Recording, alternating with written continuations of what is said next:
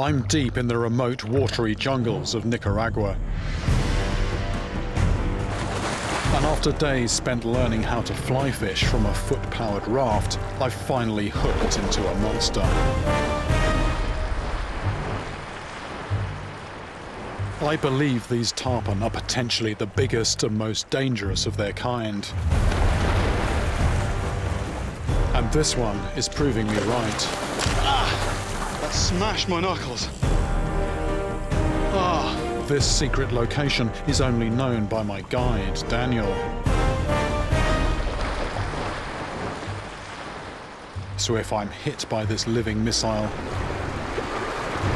then I'll be in serious trouble.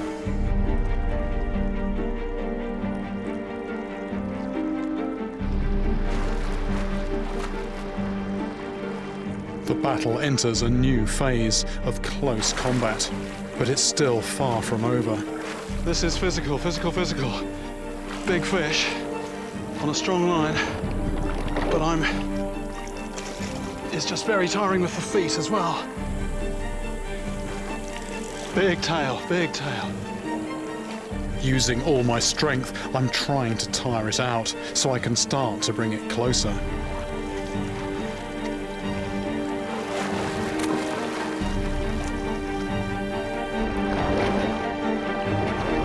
But this giant fish seems to be taking the upper hand. It's swimming circles around me while I get more exhausted. This is a long, long, long, protracted struggle for me and the fish. We're both having to fin and just getting more and more exhausted. A grueling hour passes. I'm struggling to maneuver quickly enough to defeat its tactics. And this fish shows no sign of throwing in the towel.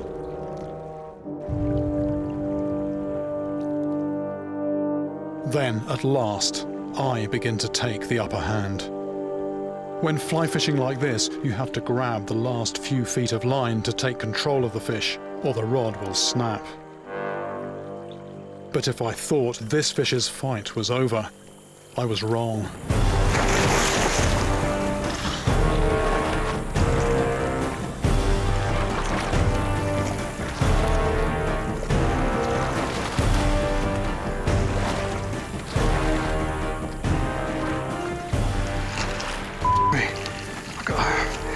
Line, line round my fingers here.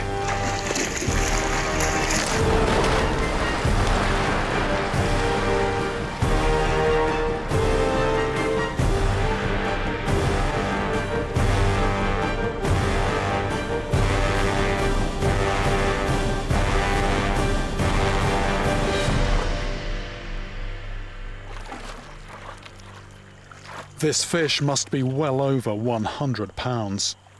And I finally have it on the ropes, ready to submit. Okay, it's got a light hook hold. If I get the hook out. Oh!